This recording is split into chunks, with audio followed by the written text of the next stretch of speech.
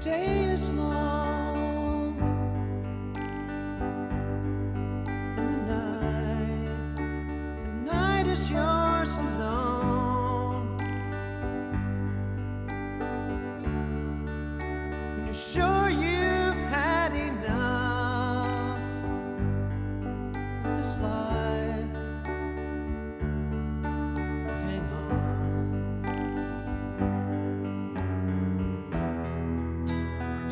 Let yourself go.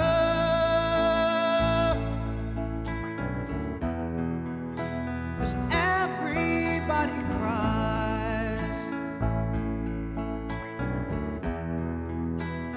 And everybody hurts sometimes.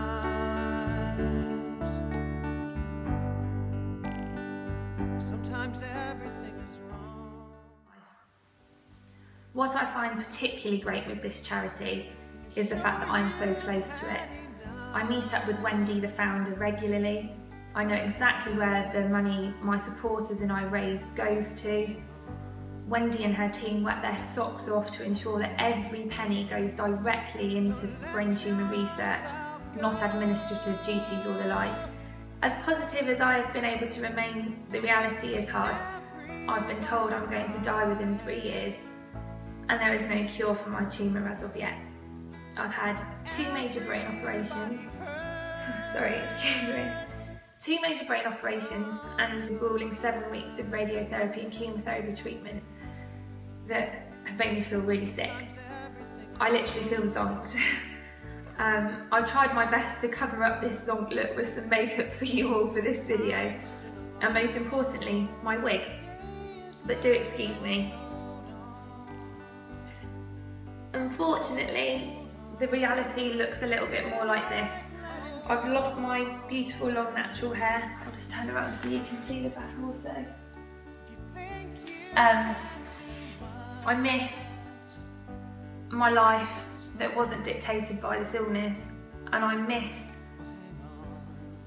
not feeling guilty that one day I'm going to leave my loved ones behind. However, I try and suck up these tears as much as possible because I know they're not going to get me anywhere. Now my treatment has finished for four weeks. Um, I have four weeks off, which is fab. Um, I will then begin a 12 month chemotherapy course.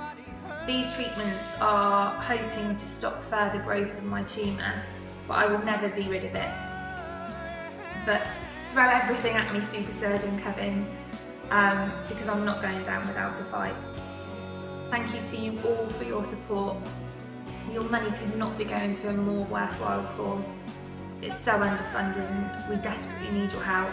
And to me, it obviously means more than anything because you may be helping to save my life. And if you are interested in following the rest of my battle against brain cancer, please read my blog Inside My Head. Thank you very much.